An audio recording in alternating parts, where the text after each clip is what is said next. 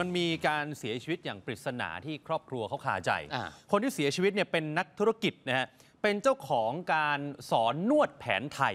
ปรากฏว่าเขาเสียชีวิตปุ๊บเนี่ยสภาพศพนะคุณผู้ชม คือมันดำไปหมดเลยฮะอ่าครอบครัวเขาคาใจว่าเอ๊ะโดนวางยาหรือเปล่า หลังจากที่ไปปรับความเข้าใจกับภรรยาครับจู่ๆก็เสียชีวิตอืมไม่พอเนี่ยฝั่งนั้นนะเหมือนพยายามจะรีบเผาศพด้วย แม่ก็เลยบอกว่าดูมีพิรุษดูมีพิรุษนะฮะแล้วล่าสุดเนี่ยมีเพจดังเขาออกมาเปิดเผยด้วยว่า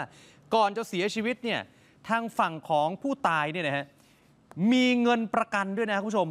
ทำประกันชีวิตไว้หลายที่ครับรวมแล้วเนี่ย 16 ล้าน โอ้เยอะอยู่นะ มันก็เลยยิ่งมีข้อสงสัยเต็มไปหมด และนี่คือผู้เสียชีวิตนะครับคุณผู้ชม คุณพิชิตกลีบจินดา หรือว่าคุณต้นอะคนที่เราไม่ได้เบลอนะครับเป็นเจ้าของธุรกิจสอนนวดแผนไทย เรื่องนี้เนี่ยทางน้องสาวของคุณต้นนะครับนำหลักฐานมาร้องขอความช่วยเหลือจากทนายเดชากิติวิทยานันท์หลังจากที่คุณต้นเนี่ยเสียชีวิตที่มหาสารคามเมื่อ 16 เมษายน แต่สภาพศพคือดำคล้ำผิดปกติ สงสัยว่าถูกวางยาพิษหรือไม่อย่างไร ผู้ชมเราขออภัยนะ เราเบลอไว้ แต่ก็จะเห็นว่านั่นอะดำไหมดำครับ เนี่ยเห็นมันแปลกสีก็ดูออกว่าดำนะเออ มันดำไปหมดเลยนะฮะน้องสาวบอกว่าพี่ชายอยู่กินกับภรรยามานานกว่า 16 ปี มีลูก 3 คน แต่หนึ่งปีที่ผ่านมาครับระหองระแหงกันเรื่องมือที่ 3 ก็แยกกันอยู่ ต้นปีที่ผ่านมาภรรยาพาลูกกลับไปอยู่ที่มหาสารคาม ประเด็นมันเริ่มตรงนี้ฮะ 14 เมษายนที่ผ่านมา พี่สะพ้ยบอกให้พี่ชายไปหาที่มหาสารคาม พี่ชายก็ไปเมื่อ 15 เมษายนแล้วก็ไม่ได้คุยกัน คิดว่าเออเขาน่าจะไปปรับความเข้าใจกับภรรยาเขาครับ ปรากฏ 16 เมษายน ลูกของพี่ชายโทรมาร้องไห้ อืมบอกว่าพ่อตายแล้ว อ้าว นอนตายอยู่หน้าบ้าน หลังทราบเรื่องฮะครอบครัวก็เดินทางไปเลย เพื่ออยากจะเอาร่างมาชันสูตร หาสาเหตุที่แท้จริง เพราะที่ผ่านมาเนี่ยผู้ชายคนนี้ไม่เคยเจ็บป่วย แต่พอไปถึงตกใจอีก ครอบครัวฝ่ายภรรยากำลังจะเผาศพแล้ว เอ้าอ้างว่าตายโหง ตามประเพณีไม่ให้เก็บไว้ แล้วตายเพราะอะไรยังไม่รู้เลยนะฮะครับ ขณะที่ภรรยาของพี่ชายเนี่ยพยายามจะมาบอกฝั่งนี้นะ ครอบครัวของพี่ชายว่าหนูไม่ได้ทำครอบครัวก็ยิ่งสงสัย อืมไม่ได้ทำคืออะไร ยังไม่ได้ถามเลย เราบอกไม่ได้ทำแล้ว จู่ๆบอกหนูไม่ได้ทเออครับำนะฮะอย่างไรก็ตามมันมีประเด็นอีกคุณผู้ชม ก่อนที่พี่ชายเธอจะเสียชีวิตเนี่ย เคยถูกลอบยิงรถถึง 4 นัดอืมบริเวณถนนประดิษฐ์มนูธรรม แล้วไม่ได้เกิดนานเลยนะ เพิ่งจะเกิดเมื่อ 8 เมษายนอ่าเคสนั้นนี่ดูรถนะฮะ ที่ถูกลอบยิงครับตอนนั้นรอดมาได้ แต่ตำรวจยังจับคนร้ายไม่ได้ ครอบครัวก็เลยสงสัยว่า 2 เหตุการณ์นี้น่าจะเชื่อมโยงกันครับ คืออย่างนี้ค่ะเรามีเรามีคดีที่เป็นคดีพยายามฆ่าอยู่เปิดอยู่แล้วเนาะวันที่ 9 เมษาจากสถานีตำรวจนะคะ แล้ววันที่ 15 เราไปส่งพี่ชายพี่ชายยังสภาพปกติเดินเหินได้พูดจารู้เรื่องเขาอาจจะกินเหล้ามา แต่ก็เป็นลักษณะของคนกินเหล้าค่ะ คนกินเหล้ายังพูดจารู้เรื่องสามารถขึ้นเครื่องได้ ส่วนตัวคิดว่าอาจจะโดนยาค่ะโดนยาดูจากสภาพศพแล้วเจไปคุยกับตำรวจหลายครั้งเอารูปไปให้ดูและคุยกับทนายหลายท่าน ผลชนสูตรศพตอนเนี้ยที่ทางหมอให้มาค่ะเขียนแค่ว่า unattended ไม่มีอย่างอื่นเลย คืออะไร unattended เป็นการตายที่ไม่สามารถระบุสาเหตุได้ โอ้เห็นไหมพอยังระบุสาเหตุไม่ได้ ขนาดหมอยังระบุสาเหตุไม่ได้ครอบครัวเออยิ่งขาดใจไปใหญ่เลยนะครับครับ ไปเจอแม่ของผู้ตายซึ่งยังทำใจไม่ได้ พูดไปก็น้ำตาไหลไปนะครับคุณแม่บอกโอ้โห ทุกอย่างมันเกิดขึ้น กระทันหันเร็วมาก ยอมรับว่าลูกชายกับลูกสะใภ้เนี่ยมีปัญหาเรื่องชู้สาวครับ แล้วที่แม่ตกใจมากๆก็คือพอไปถึงงานศพ สภาพศพลูกชายผิดปกติมันมันดำมันคล้ำไปหมดแล้วอะ่ะอืมซึ่งคุณแม่บอกอันเนี้ยไม่น่าจะเป็นการตายแบบธรรมชาติครับ รวมไปถึงลูกสะพ้ย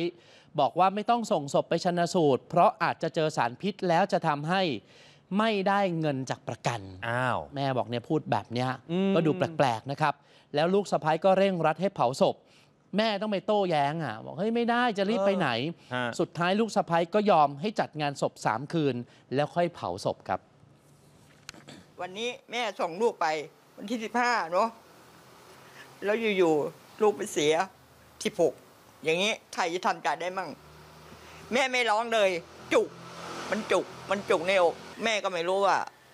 ธรรมดาคนตายธรรมดา มันก็ต้องมีเหลือฝากขนมั่งเนาะ อ่านะ น่าจะเป็นเหลือรูปคนมั่งที่ว่าคนตายเนาะครับสองสามวันมันคงจะไม่ดำขนาดนั้นนี่ขณะที่ทนายเดชาครับบอกว่าเมื่อดูจากหลักฐานแล้วเนี่ยมันมีอยู่ 3 เรื่องที่มีพิรุษครับหนึ่งก็คือก่อนตายถูกลอบยิงสองก็คือพอเสียชีวิต 16 เมษายน ผ่านไป 3 วันทำไมสภาพศพดำคล้ำลักษณะเหมือนถูกวางยา และ 3 ก็คือเมื่อเสียชีวิตทำไมไม่ชนะสูตรพลิกศพ แล้วเร่งเผาศพอีกต่างหาก ทนายเดชาเนี่ยเทียบเคียงกับคดีของแอมไซยานด์เมื่อเสียชีวิตและชาปนกิจไปแล้ว ไม่ว่าจะระยะเวลานานแค่ไหนเนี่ยถ้ามีข้อสงสัยและมีหลักฐานเนี่ยครับไม่ว่าจะเป็นภาพถ่ายศพการแจ้งตายความเห็นแพทย์หลักฐานอื่น ๆ จริง ๆ ยังแจ้งความกับตำรวจ เพื่อเริ่มต้นกระบวนการสอบสวนได้ แล้วทนายเดชาบอกด้วยนะฮะเคสนี้ญาติแจ้งว่าคนตายนอนเสียชีวิตหน้าบ้าน แล้วมีคนมาเจอศพตอนเช้า อันนี้มันผิดปกติตามขั้นตอนเนี่ยต้องส่งศพชันสูตรครับ ต่อมาเนี่ยลักษณะสภาพศพเนี่ยตายสามวันนะที่เขามาร้องเรียนน่ะมันจะดำขนาดนี้อะเออ มันจะเป็นไปได้ไงนะคนเราสามวันหน้าเป็นอย่างนี้ไปเลยอะมันมันผิดปกติอะในใบมรณบัตรเนี่ยนะอ่าระบุสาเหตุการตายว่าไม่ทราบว่าเป็นอะไรตาย ซึ่งเป็นเรื่องแปลกนะ เพราะผมทำคดีฆาตกรรมมาก็หลายคดีนะอย่างคดีแอมไซยาไนด์ทุกทุกทุกไอไอไอตัวอะไรไอใบมรณบัตรก็ยังบอกเลยนะหัวใจล้มเหลวนะ ความดันโรคชรานะเออเบาหวานหรืออะไรก็ว่าโรคหัวใจต้องใส่อันนี้บอกไม่ทราบมันมันยิ่งทำให้มีข้อสงสัยใหญ่เลย